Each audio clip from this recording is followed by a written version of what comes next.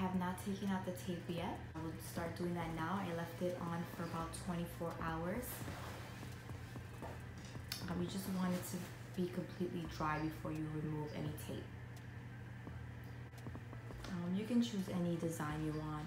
Um, I love the triangles, but you can do squares or, you know, you can just always be creative. You can do, you know, stripes, whatever you want.